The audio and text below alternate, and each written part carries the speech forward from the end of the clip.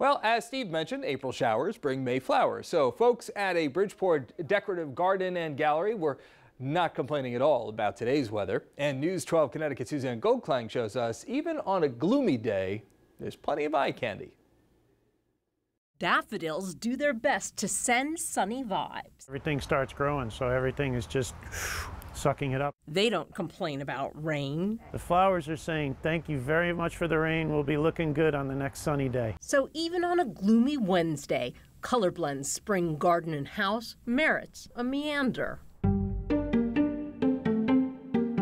Inside the 1906 Colonial Revival Mansion, art mirrors the outdoors. I feel that that's something that inspires artists when they see life coming from the ground and just blossoming. A bouquet lights up, sculptures swirl, stained glass glows. I could look at this mobile all day.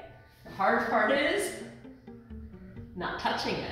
Just um, bright and colorful and very floral. The exhibit reemerging like shoots after the winter. The show has been closed during the pandemic for the last two years, so this is the grand reopening. Back outside, if you like your flowers with a shot of sunshine. Na na na na. Split Corona. There's always tomorrow. And it turns literally from an ugly duck into this beautiful, uh, beautiful thing. Here's something new blooms every day. You're part of the big uprising, the spring uprising. In Bridgeport, Suzanne Goldklang, News 12, Connecticut. Now, Colorblends will be open until May 8th and is located on Clinton Avenue in Bridgeport.